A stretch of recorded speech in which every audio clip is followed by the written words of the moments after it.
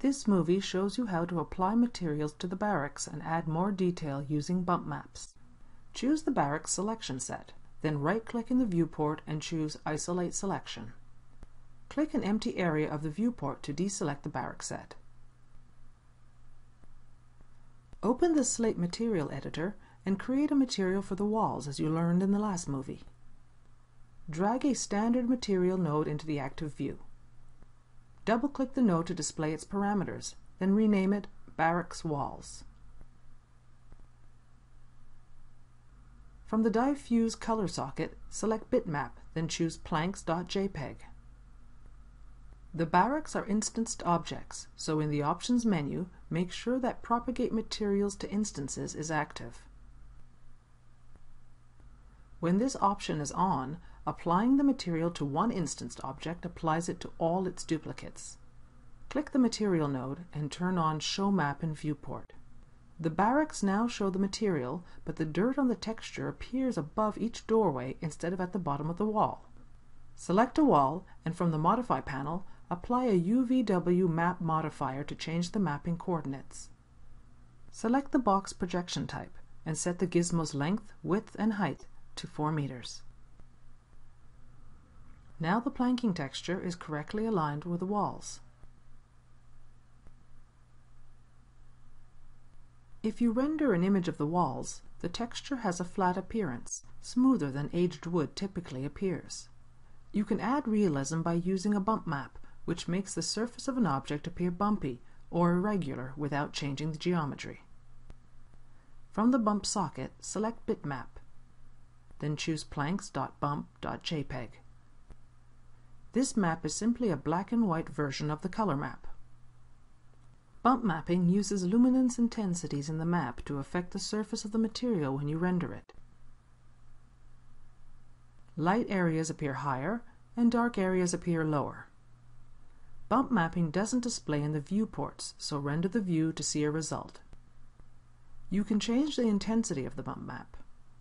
When you wire a bitmap to a material, a controller node is also connected. So now there is one controller for the percentage of the diffuse map and one for the percentage of the bump map. By default, bump is set to 0.3 or 30%. You can play with that value to give the map the look you want. Set the value to 0.6 and render again.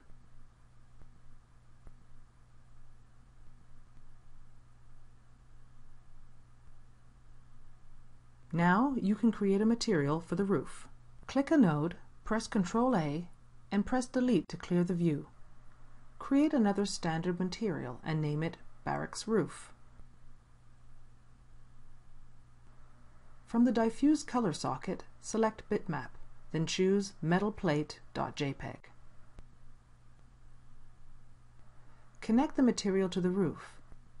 Click the Material node then turn on Show Map in Viewport. The corrugated plate should follow the slope of each roof instead of being stretched lengthwise like this. Select the roof and apply a UVW map modifier.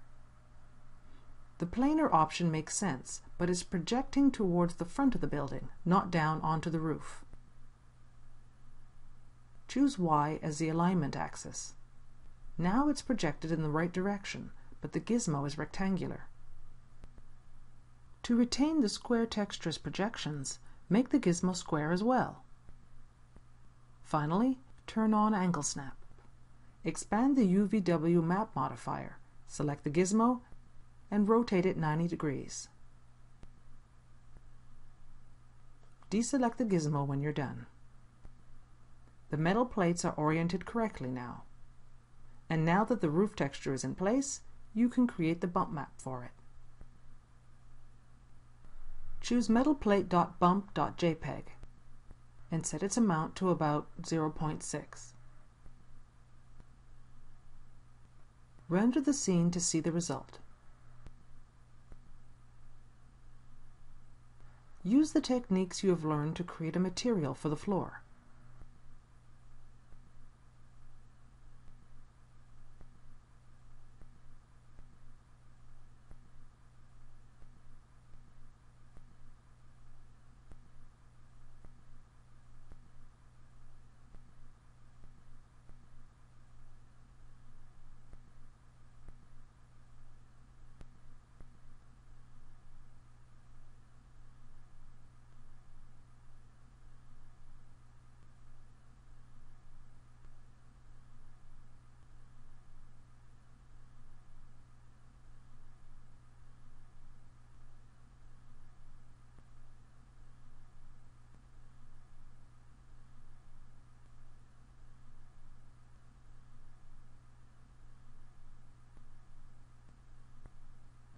Now that you have textured the barracks, you can use the same materials for the sentry box.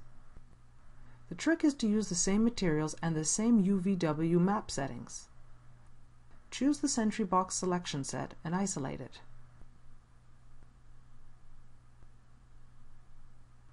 Select a barracks floor. Then control-drag the UVW map entry from the modifier stack. Drop it onto the floor of the sentry box to make an instance of the modifier. Now that the sentry box floor has the correct mapping, you can apply the material.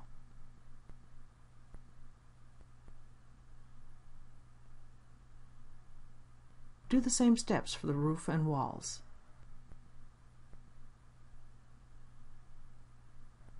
Remember that if material nodes are no longer in the view, you can use the eyedropper and pick a material from the scene.